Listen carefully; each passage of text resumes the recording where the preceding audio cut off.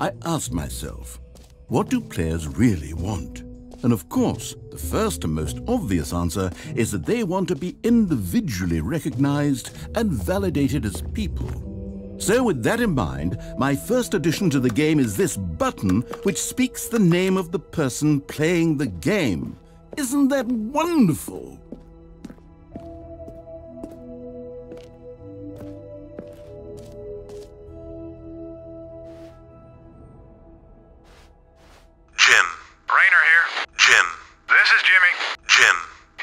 Anytime you're ready. Jim. Go ahead, Commander. Jim. Hey, quit it. Jim. What's your problem, man? Jim.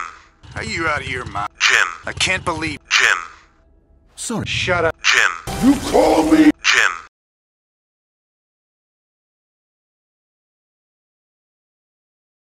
I'm the. Jim.